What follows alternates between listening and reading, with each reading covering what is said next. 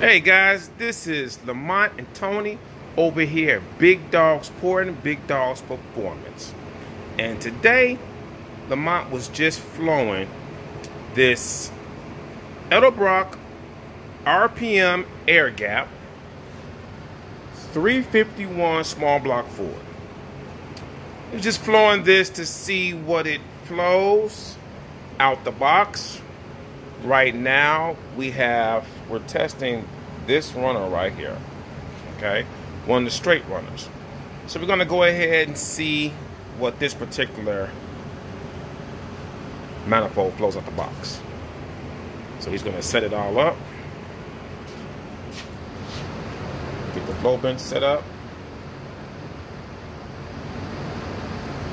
So we can see what it does. Go ahead. So out the box, it's flowing about 256, 257. So out the box is about 256 to 257 CFM. That's the straight runner. You know, the straight runners on these manifolds are the highest flowing runners. The outside runners usually come up about 20 um, CFM short. That's actually low for this manifold. You know, it's an Edelbrock RPM air gap. It's, a, it's actually a real Edelbrock air gap.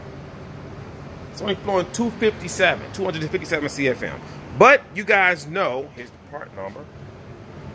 You guys know what these can do on nice applications.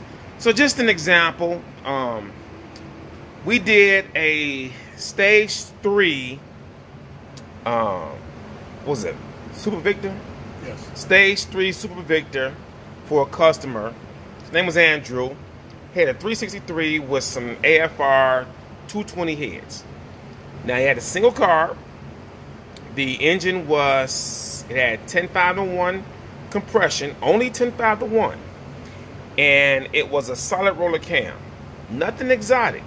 We posted the results and the motor on our Facebook page, but we just want to show you um, the results on this video of what that particular motor did on the engine dyno.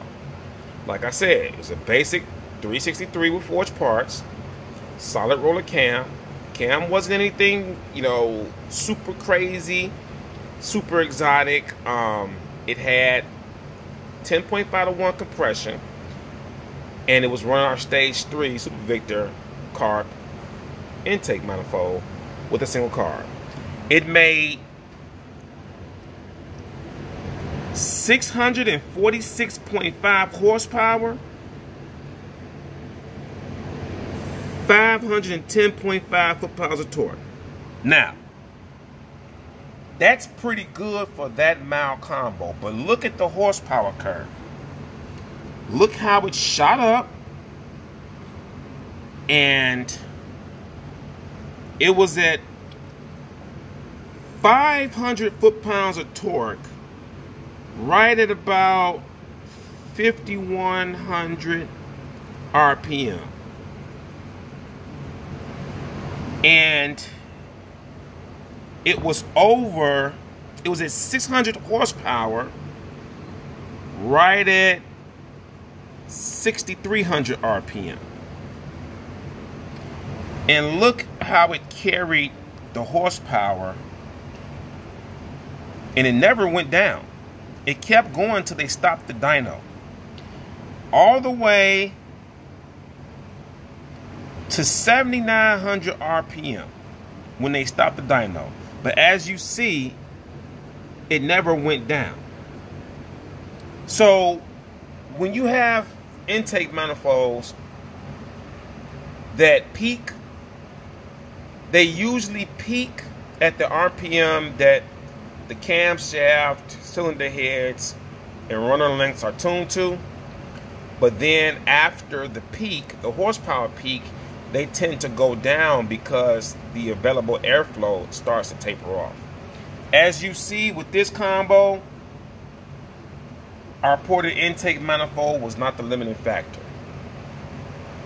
Um, I'm suggesting that either the heads or the camshaft couldn't make anymore.